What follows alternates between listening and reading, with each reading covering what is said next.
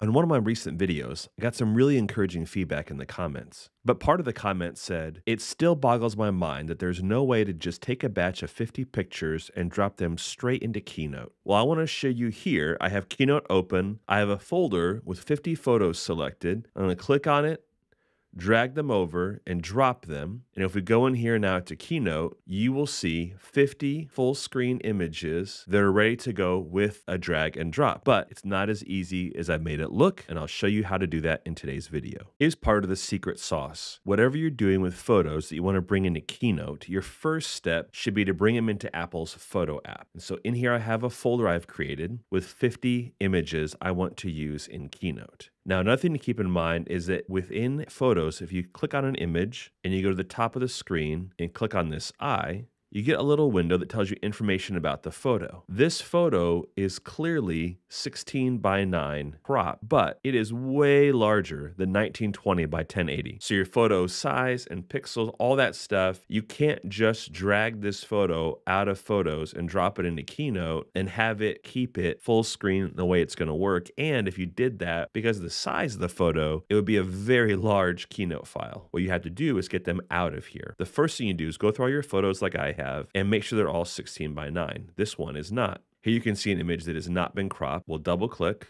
brings up the full image, and the top right corner, we're going to choose edit.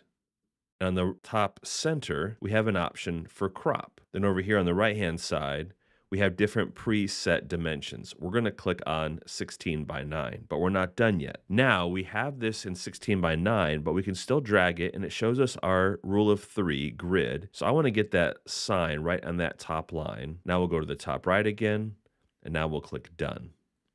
You want to do this for each of your photos in that album so that they are all set up the way you want them to be. Click on edit, come over and click on crop, go to the side and click on 16 by 9, and then go in here and adjust your photo. This is why you won't just do some kind of a shortcut that'll crop all your photos to 16 by 9 because it's just going to change the dimensions, not frame the picture the way you probably want it framed. So when you go in here and you edit and you crop, the shortcut is that you know it's going to be 16 by 9, but you've got to be able to look at the photo and see how do you want it set up before you click done so it's ready to go. We keep doing this with all of our photos till they're all 16 by 9, no matter what the actual pixel dimensions are. And now, once all 50 images are cropped 16 by 9, again, if we were to click on that eye, you can see that some of these are 1920 by 1080, but not all of them are. So the secret here is exporting them. So in Photos, we'll go up here to the very top of the screen, we'll go to Edit, and come down and do Select All.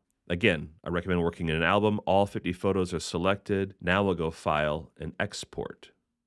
When you go to export, you'll want your photos. You can change them whatever style you want. For photo kind, I like to use just JPEG. Quality, high. You don't need to do maximum because we're only going to do 1920 by 1080. So we'll keep it the quality at high. And then go to size. It, you'll be defaulted to large or full size. You want to bring it to custom and set your width to 1920. That will make it where the dimensions are 16 by 9. So if the width is 1920, the height will be 1080. Now we can do export. Then we'll create a folder. I've got one here called 50. You can make yours whatever you want by clicking new folder and titling it. Then click export and it will put all those images in that folder. And at the top here, you can watch as it works. And as that circle's going around, it's exporting all those images and it's resizing them to 1920 by 1080.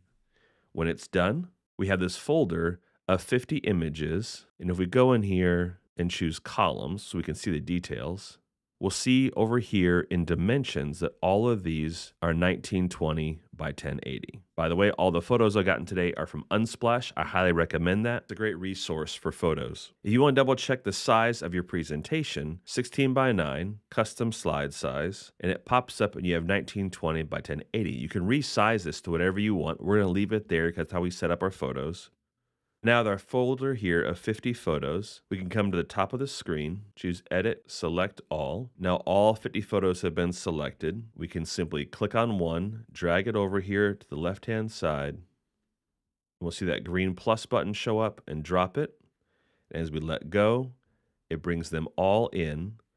And now we have our 50 images dropped into Keynote, full size, ready to go for your presentation. The key is to do all the work in photos first, resizing them, editing them, rearranging them, however you want it to go. And then when you bring them into Keynote, they're all set. So it is possible to do this, just not dragging any set of random images and dropping them into Keynote. You need to bring them into photos first and edit them. Thanks so much for watching this video. Let me know in the comments what questions do you have. I would love to help you and I might even make it in one of my future videos. Thanks so much. If you like this video, please give it a like. If you want to see when more come out, subscribe to the channel. And I'll see you next time.